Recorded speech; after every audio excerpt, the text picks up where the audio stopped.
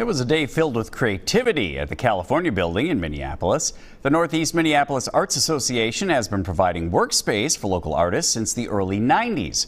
We're taking you inside for Art-A-Whirl.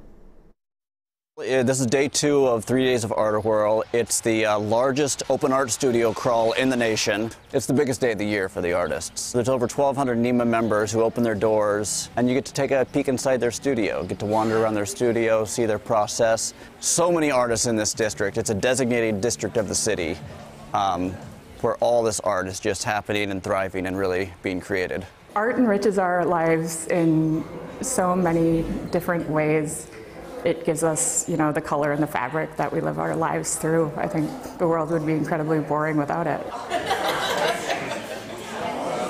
It's thriving. The art scene is thriving. Now, all these studios here, you know, when you, I lived here all my life, wasn't aware of it. I mean, they're all around me, and I hear them walk around, and then when they have Art-A-Whirl, then all of a sudden these places open up. I didn't know. They're everywhere.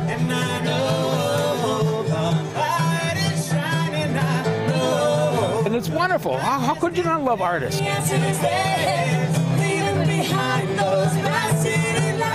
It's uh, my uh, passion. Uh, it's my way of self-expression. I, I don't know how to describe it, but it's just uh, without it, I'd be lost. You know, as an artist, you work by yourself so much of the time, and then to get the public's reaction to it is what's really special. Just brings life to the community, change, it evolves, it's evolving, it's everything. These guys see differently than you or I do because they got eyes of an artist and they can capture that. It's, uh, it's great. Day three of Art-A-Whirl is tomorrow. It runs from noon until 5.